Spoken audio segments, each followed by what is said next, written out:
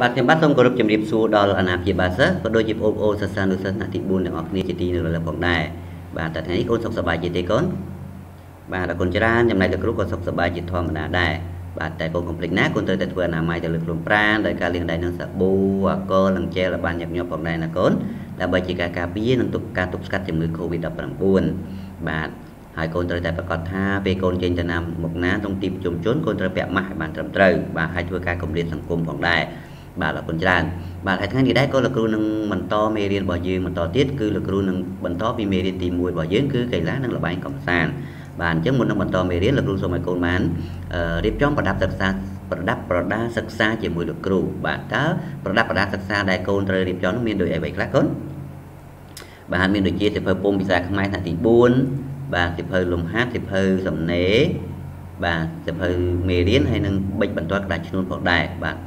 អរគុណច្រើនបាទអញ្ចឹងថ្ងៃនេះដែរក៏លោកគ្រូនឹងបន្តមេរៀនរបស់យើងប៉ុន្តែមុននឹងបន្តលោកគ្រូសូមនឹងរំលឹកពីអឺកិច្ចការដែលលោកគ្រូបានដាក់ឲ្យកូនកាលពីម្សិលមិញបាទអញ្ចឹងរំលឹកកចូលបំពេញល្បះខាងក្រោមឲ្យបានត្រឹមត្រូវបាទនេះគឺជាល្បះដែលលោកគ្រូបានដាក់ឲ្យកូនបាទនេះគឺជាល្បះដែលជាកិច្ចការបាទអញ្ចឹងកិច្ចការទី1ល្បះទី1គឺលោកគ្រូបានបំពេញពាក្យថាស្វាហាប់អញ្ចឹងពាក្យស្វាហាប់បានថាគឺមមួនរឹងប៉ឹងបាទអញ្ចឹងកីឡាករ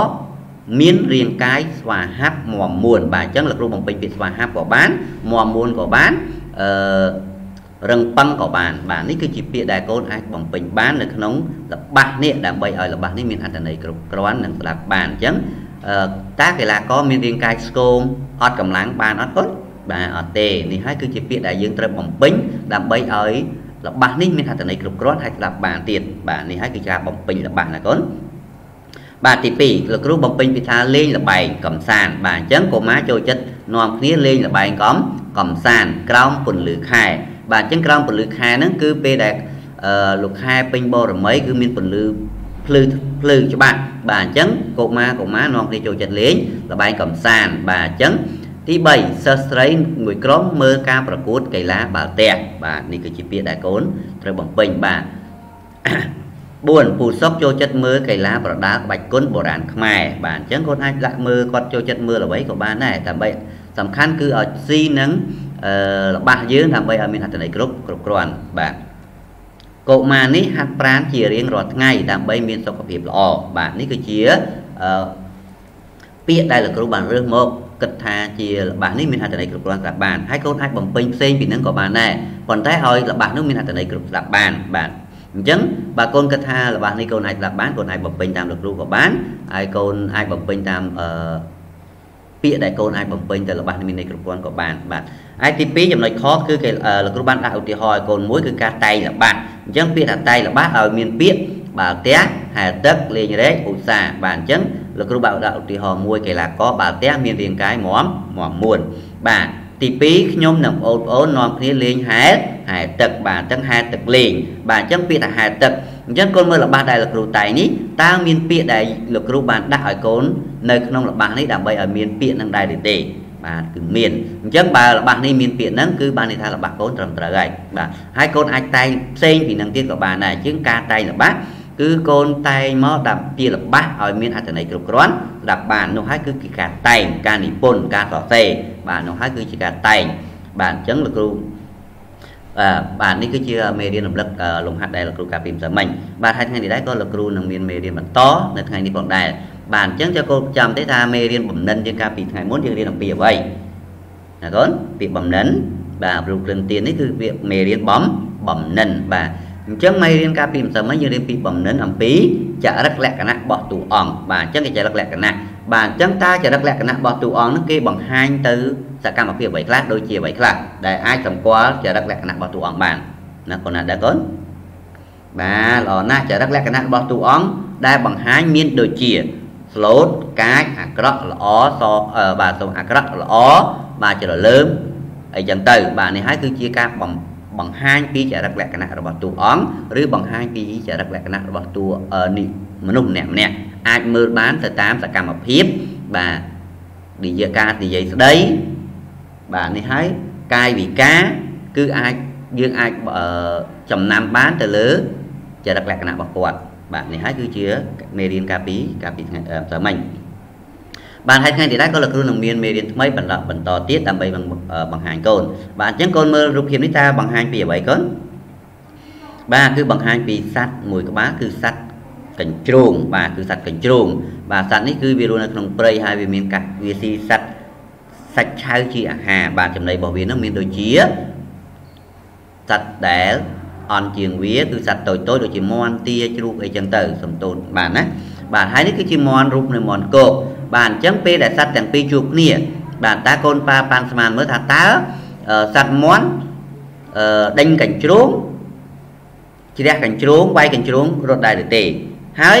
តើពេលកញ្ជ្រោងជួបមាន់តើកញ្ជ្រោងនឹកគិតយ៉ាងម៉េចបាទប្រកាសជាដេញ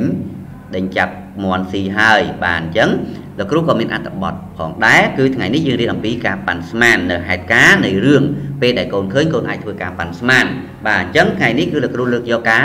ប៉ាន់ស្មានហេតុការណ៍ដែលកើតឡើងបន្ទាប់បាទពាក្យថាប៉ាន់ស្មានបាទហេតុការណ៍កូនដឹងហើយថាអឺ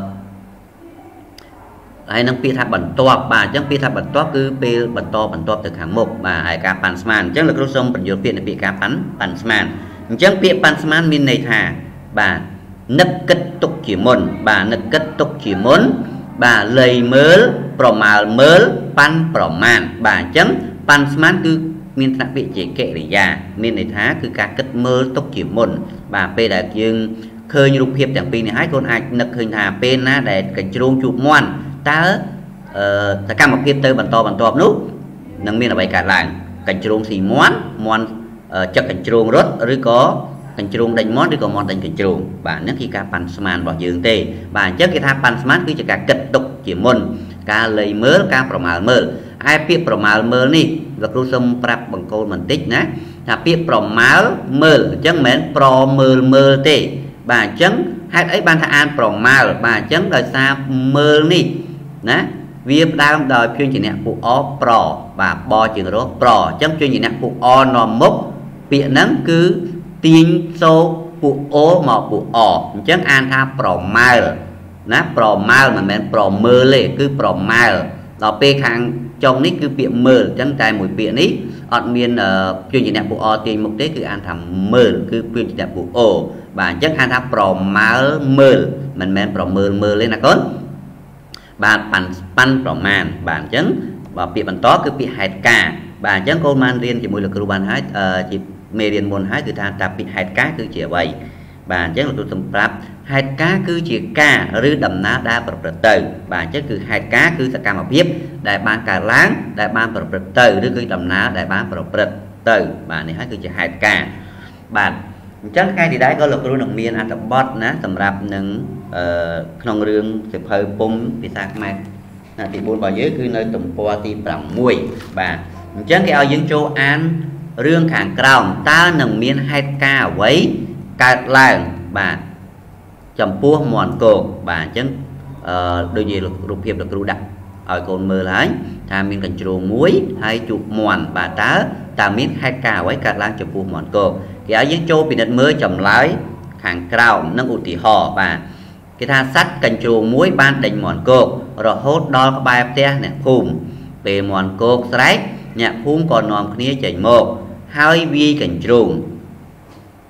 កញ្ជ្រោងក៏បកក្រោយរត់យ៉ាងលឿនមន់គោកឃើញដូច្នេះគិតថាកញ្ជ្រោងខ្លាចខ្លួនក៏រត់ដេញកញ្ជ្រោងរហូតដល់កំបាំងភ្នែកអ្នកស្រុកបាទអញ្ចឹងកូនស្គាល់ពាក្យកំបាំងអីកូនបាទពាក្យកំបាំងគឺការបាំងការមើលមិនឃើញការបាំងអ្វីមួយដែលធ្វើឲ្យយើងមើលអត់អត់ឃើញបាទអញ្ចឹងដល់កំបាំងបានថាការបាំងមើលមិនឃើញបាទការបាំងពាក្យថាកំបាំង បាទអញ្ចឹងចូលកូនមើលបានឧទាហរណ៍បាទឧទាហរណ៍នៅក្នុងរបស់នេះនៅក្នុងរឿងនេះគេថាមន់គោកនិងកាច់ជ្រូងពេលដែលរត់ទៅទីកំបាំងហើយព្រមព្រៀងរាប់គ្នាជាមិត្តបាទអញ្ចឹងកូនគិតស្មើមើលថាតើ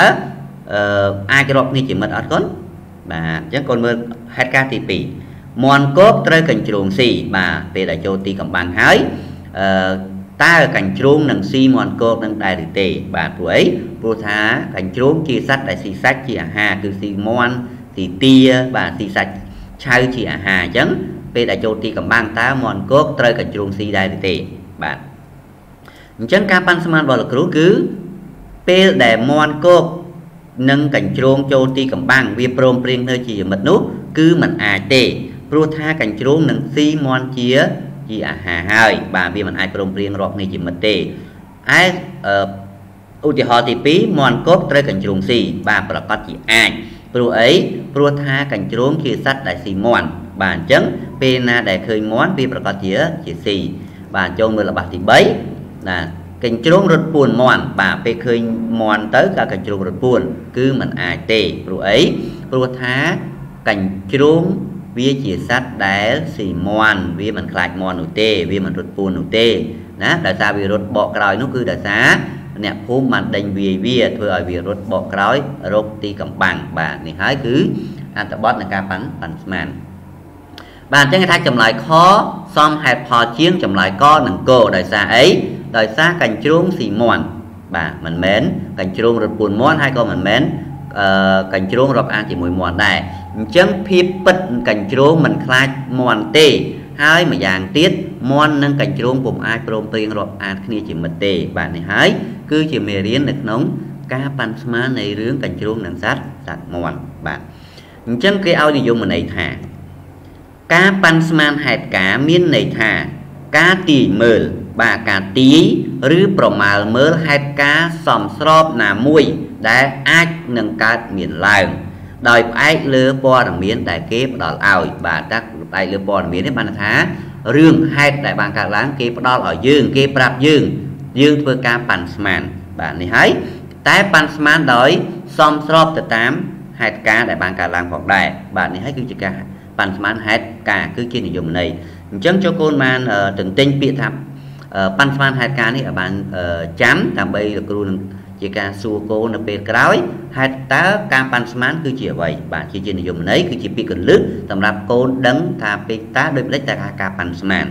បាទអរគុណច្រើនបាទអញ្ចឹងថ្ងៃនេះដែរក៏លោកគ្រូនឹងបញ្ចប់មេរៀនលោកគ្រូត្រឹមនេះហើយលោកគ្រូចង់ឲ្យកូនបានចម្លងមេរៀននេះចូលក្នុងសៀវភៅមេរៀនហើយអានវាឲ្យលោកគ្រូស្ដាប់បាទអញ្ចឹងលោកគ្រូថ្ងៃនេះ